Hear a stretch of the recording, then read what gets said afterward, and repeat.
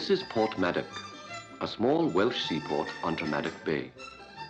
Today, only the odd fishing boat or coastal tramp pulls into this harbour, where 50 or 60 years ago, the three-masted schooners from Newfoundland and the giant cargo ships from Russia and the continental ports dropped anchor. They came for slate from the quarries of Festiniog. In those days, the town was alive with people engaged in the slate trade. Everyone wanted Welsh slates to roof their houses, so the slate came down from the mountains by donkey or by miniature train, and the waiting sailors loaded it aboard. In the little cottages, people still remember and talk of those days. Gwyneth Thomas was a girl then, and she can tell her grandchildren just what it was like, for she lived on the harbour, and her most vivid memory is of the sailors who, after their day's work, danced on the quays and in the warehouses. With nostalgia, she looks back to the days when, from her bedroom window, she watched the sailors or the gypsies from a nearby encampment dancing their jigs.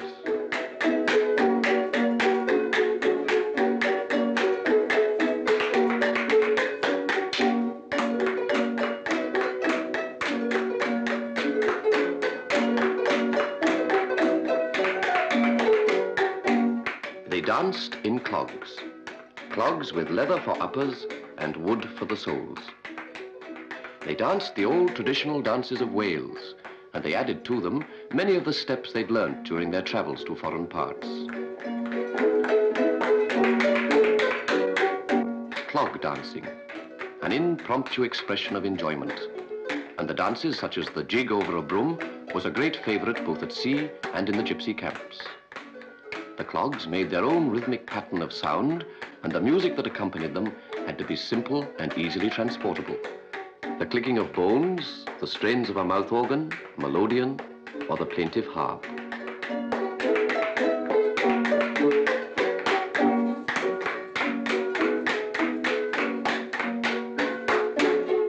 The foreign trade died.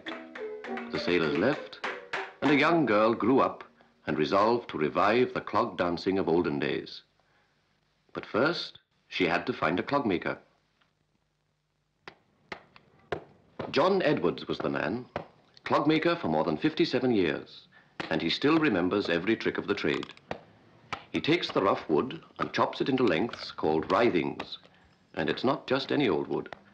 Birch and sycamore will do at a pinch, but the very best is alder. It's more supple and pliable.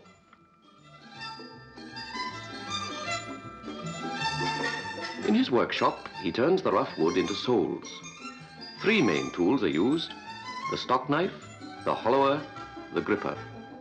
Tools which have seen service for a hundred years and more. With the stock knife, the clogmaker turns the rough soles into left and right feet. A pair, in fact.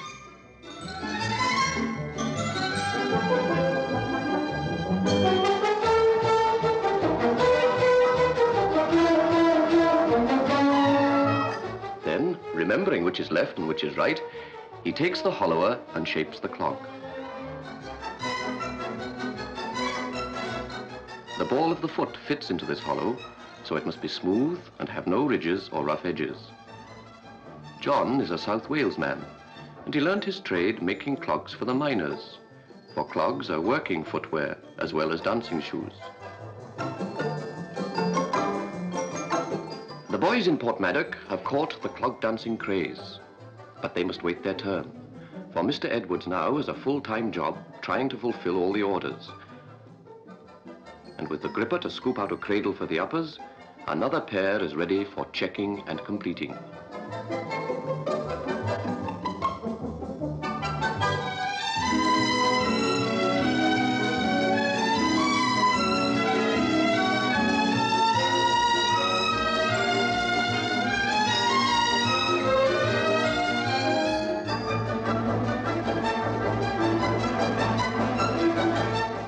Last job that's done is marrying the upper to the sole. John Edwards binds the welt with copper ribbon, which he finds much stronger than leather stitching.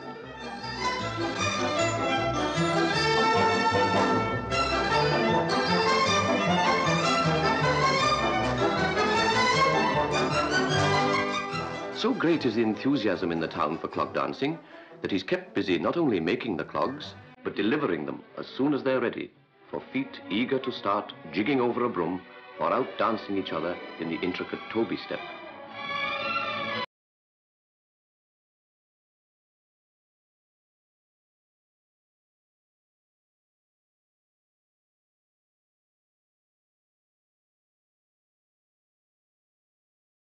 When he was a boy, John made clogs for miners to work in.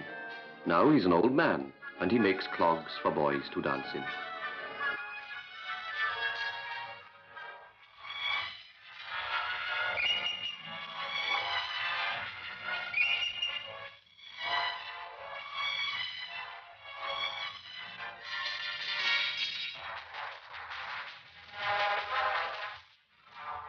Now the clogmaker was busy again in Portmadoc, Mrs. Thomas knew how to train the enthusiastic children.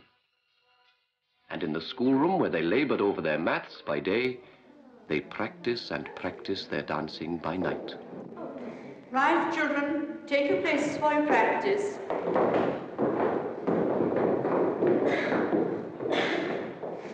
Now, we'll start from where we left off last night with a hornpipe step. Ready? Go.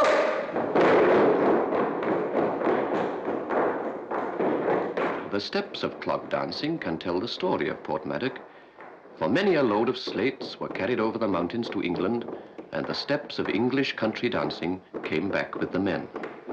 The ships sailed for Europe and the Mediterranean shores, and the Welsh sailors returned with Latin rhythms itching in their feet.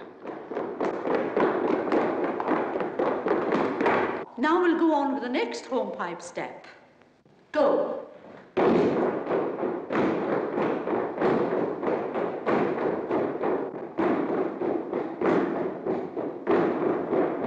Stop.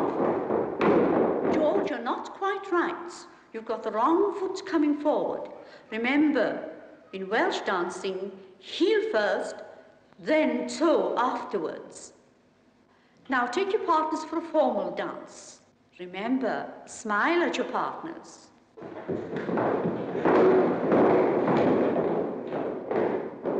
Now go!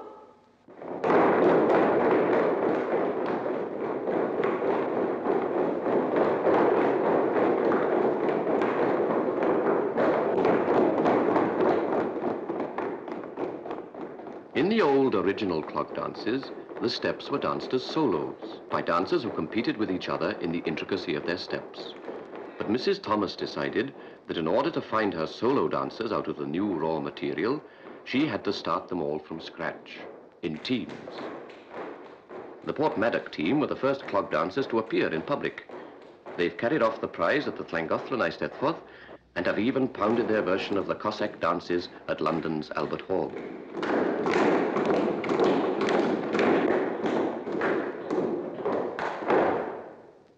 Now that was very good. We'll be able to do it now. That will be all for tonight. But don't forget the dance on Saturday. A dance on Saturday. They are now expert enough to dance before a special public, and their mothers are determined they will be a credit to everyone. The Welsh have always had their Noson Lawen, evenings of song and poetry, and now costumes must be made and clogs cleaned so that they too can play their part in the tradition of Wales. For Saturday is St. David's Day.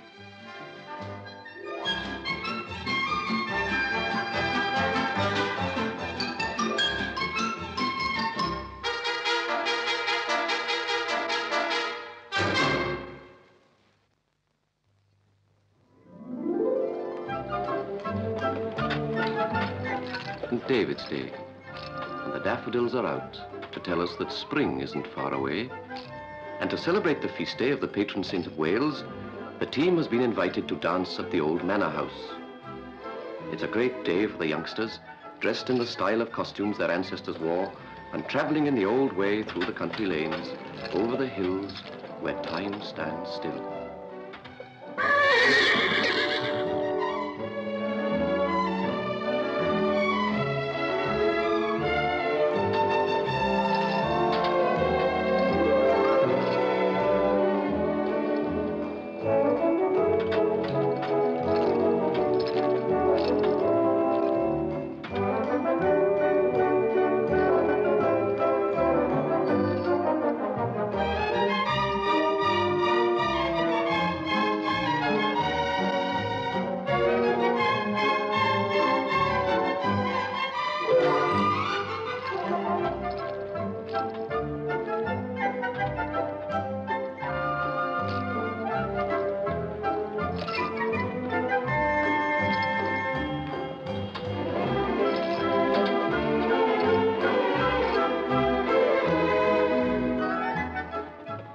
The Manor House, an old period house, a place where all things traditionally Welsh are honoured. They used to say in bygone days that there are three things necessary for a man to have in his house. A virtuous wife, a cushion to his chair, and a well-tuned harp.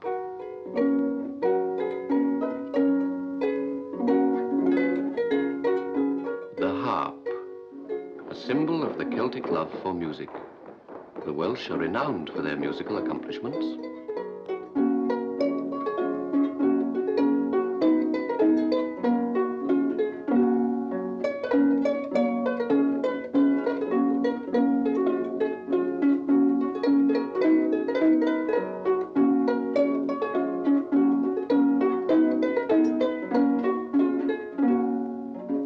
The plaintive sounds of the harp and the sharp rap of the clogs on the old slate floor, the past and present meeting when young dancers perform the ancient steps.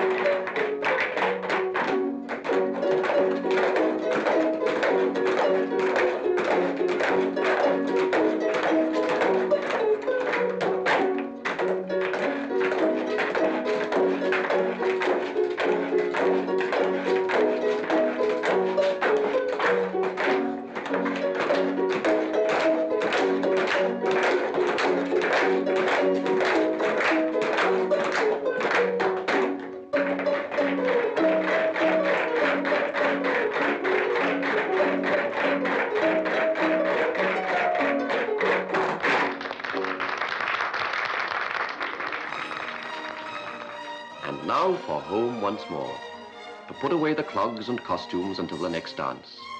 Home to a well-earned tea of hot Welsh cakes and melting butter.